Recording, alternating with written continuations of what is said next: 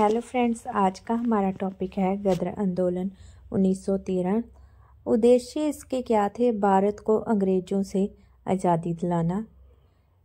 इस आंदोलन का मुख्य उद्देश्य भारत को अंग्रेज़ों से आज़ादी दिलाना था। आंदोलन की स्थापना कब हुई? एक नवंबर 1913 को। संस्थापक कौन थे? लाला हरदयाल जी। स्थान कौन से पर स्थापना हुई थी? सैन फ्रांसिस्को अमेरिका में इसकी स्थापना हुई थी। प्रथम अध्यक्ष कौन थे? सोहनलाल बकना जी इसके प्रथम अध्यक्ष थे। एक नवंबर तेरह को गदर पत्रिका उर्दू जारी हुई जो साप्ताहिक थी। नौ नवंबर 1913 से जे गुरमुखी लिपि में छपने लगी। इस पत्रिका का प्रथम पहला पुष्ट अंग्रेज़ी राज्य का कच्चा चिट्ठा नाम से छापा जाता था।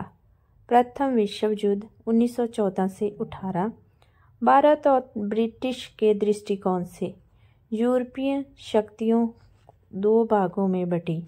फ़र्स्ट, ऑस्ट्रेलिया, जर्मनी, इटली, तुर्की, सेकंड, फ्रांस, रूस, इंग्लैंड। ये जो विश्व की बड़ी शक्तियाँ सी दो हिस्सों में बढ़ चुकी थी। उस समय भारतीय वार्सलाय थे लॉर्ड हैंगडिंग 1915 गांधी जी का भारत में आगमन हुआ था।